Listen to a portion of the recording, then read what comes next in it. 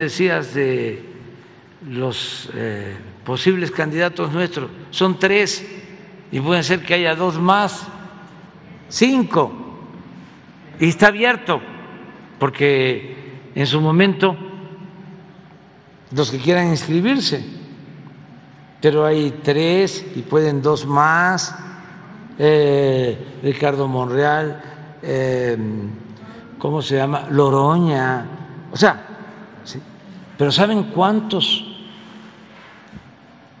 candidatos hay del bloque conservador? Estaba yo contando ayer, 38.